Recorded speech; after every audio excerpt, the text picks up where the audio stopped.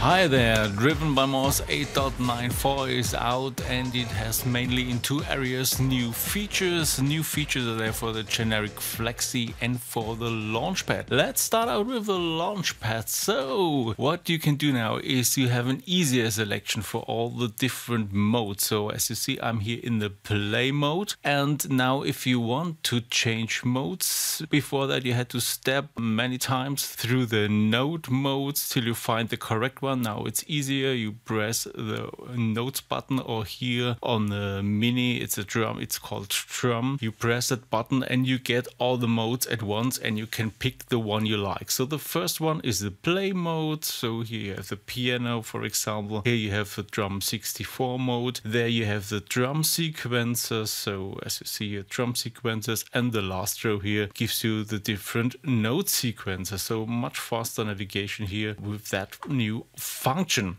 Another thing someone asked me to do is something weird you might discover. You see, I have here only one track, and you see here also on the launchpad there is one clip in there. And I also have an effect track, so I can also put a clip in that one, and I could even put a clip here on the master track. Now let's do something like this. Let's duplicate these tracks here, and let's group the first two ones now you discover something weird. There is now an empty track. So what is that? So there is still the master track, the effect tracks, and we have these four tracks with a Repro plugin in, but there is now an empty one. So what is that? This is actually a feature because also this group track has a master track and this is normally hidden. So if you go there with right click on this menu, you see the show master track content. And these clips you put in there, let's mark that in a different color, let's make that green, is in there uh, for you to use. But normally you might not want to have that additional track. So there is now the option in the settings of the launchpad to turn it off. So you can now say include group master track requires restart. So you can turn it off. By default it's on. So it